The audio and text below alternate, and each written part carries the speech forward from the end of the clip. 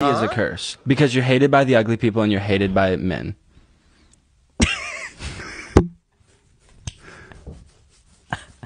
you get slut shamed.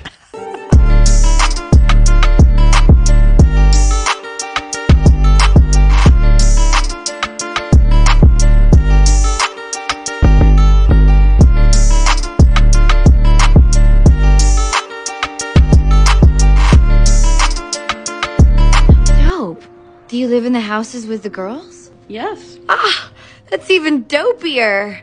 Can I be one too? I'm sorry. This is a sorority, not a brothel. A brothel. Oh, I'm not looking to make Biden.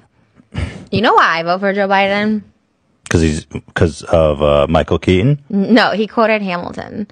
Oh, Did you see that Done, in the done and debate? done. We hold No. these truths to be self-evident that all men are created Oh, you- equal. he said that in his speech Oh my god! at the debates. You know what that's from? Hamilton. No, but you know what it's from?